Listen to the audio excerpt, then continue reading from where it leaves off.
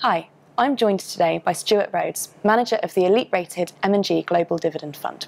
Thank you for joining me today, Stuart. Thank you.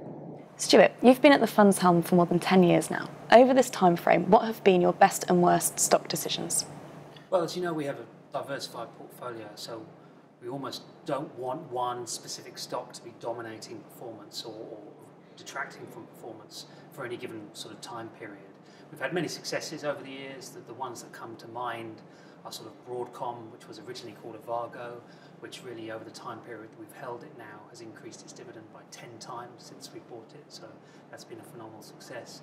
Methanex has been a consistent holding us for many, many years now, and that's contributed an awful lot of performance, and actually in absolute terms has, has nearly generated us half a billion pounds of profit now. So some, been some big successes, but like any fund manager, we also have our, our um, periods where we don't have much success and we get some companies wrong. Um, you know, we're no different, so we've had some pretty poor investments along the way. One that really sticks to mind is a company called Orica, which is an Australian business that makes mining explosives really why this wasn't successful because we held on to it for too long in the belief that it would turn around. And so probably there were many times where we could have cut that position earlier and actually saved our, our unit holders quite a bit of money.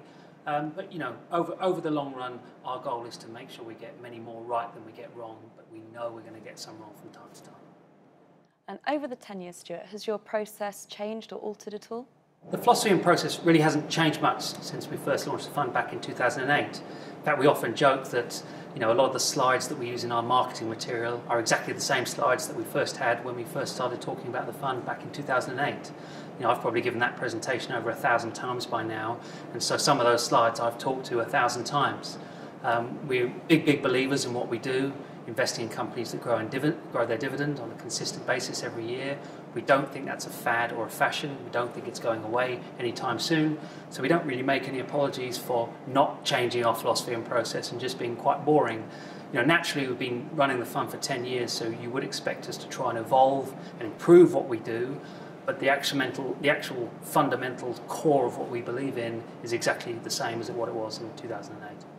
And where are you seeing the best dividend opportunities at the moment? Well, we see dividend opportunities in, in different parts of the market. Um, so we split our fund up into three sections, which is really quality, which is the more defensive aspect of the market, assets, which is the more cyclical part of the market, and then the growth element. Um, the growth element's the toughest one. So, you know, we saw a lot of opportunity there back in 2016 when there was quite a lot of volatility in the markets, which gave you those entry points into good growth businesses. Volatility's been pretty benign very benign in 2017, maybe less so in 2018, but still not enough volatility to give you those exciting entry points. So our growth exposure is probably on, on, on the way down. In the other two, we are seeing quite a lot of opportunity. Assets still looks very attractively valued to us, uh, maybe not as quite as attractively valued as it was back in 2016 when we would argue it was ludicrously cheap. Now it's sort of moved up to just being you know, attractively valued or a little bit cheap. So we've still got quite a bit of exposure there. But probably the more recent dynamic has been on the quality side and the defensive side.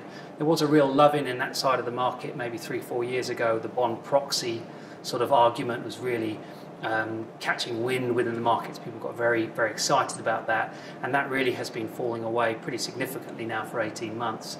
So we're starting to get a little bit more excited, specifically within consumer staples and a bit of healthcare. You know, those two sectors are starting to represent better entry points than they have done for some time, uh, and so naturally that's where we're focused on a bit of work. Thank you very much. Thank you.